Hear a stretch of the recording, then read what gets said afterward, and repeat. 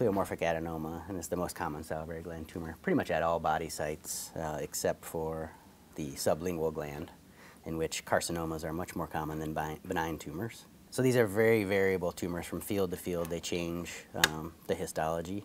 You can appreciate that there's big zones of blue alternating with more cellular zones that are filled with ductal structures, filled with these pink secretions. So from field to field, it's, it's very uh, heterogeneous, and that's where the word pleomorphic comes from. You guys usually think of the word pleomorphism as an atypical cytology, you know, pleomorphic cells that you see in cancer. But and when I talk about salivary gland tumors, talk about biphasic versus monophasic. Biphasic salivary gland tumors have an epithelial component and a abluminal component. Abluminal is a catch-all word for myoepithelial and basal cell. So recognizing biphasic versus monophasic is very important in salivary gland um, tumor pathology because it really narrows down your differential diagnosis. Biphasic tumors include pleomorphic adenoma, adenoid cystic carcinoma, basal cell adenoma, basal cell adenocarcinoma, um, and epithelial myoepithelial carcinoma. So if you, if you see that biphasic phenotype, you know your differential diagnosis is limited to those entities. So it's really helpful to appreciate that. Um, so what do we mean by biphasic?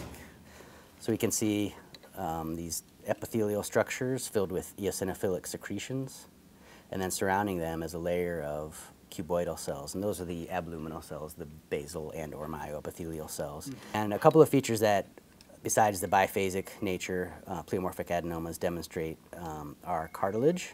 So we can see cartilage here. And that's an important thing to see, because if you see cartilage in a salivary gland tumor, your diagnosis is pleomorphic adenoma. That's it. Or carcinoma ex pleomorphic adenoma. Um, so it's, it's a helpful uh, feature to find because, it, like I said, it, there's nothing else that does that except for the pleomorphic adenoma family of tumors. They can get a lot of weird stroma like adipose tissue. You can get bone. Uh, as we saw, you can get cartilage. Um, oftentimes, the myoepithelial cells have a spindled morphology. They'll just they'll, they'll appear to emanate off of the epithelial myoepithelial structures, these little ductal structures, and they'll just kind of kind of peel off of those uh, epithelial structures. And myoepithelial cells are what make all the funky stroma we see in salivary gland tumors, the basement membrane matrix, the um, glycosaminoglycans like we're seeing here, and the cartilage.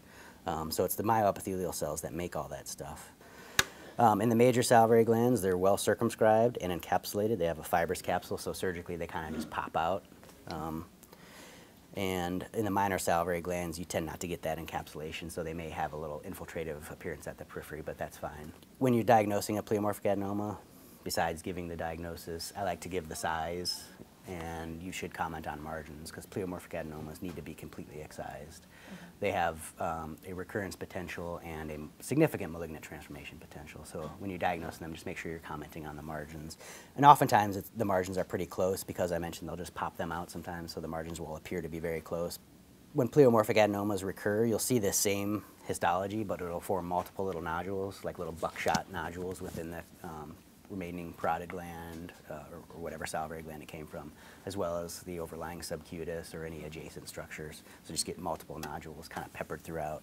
That's classic for, classic for diagnosis of recurrent pleomorphic adenoma.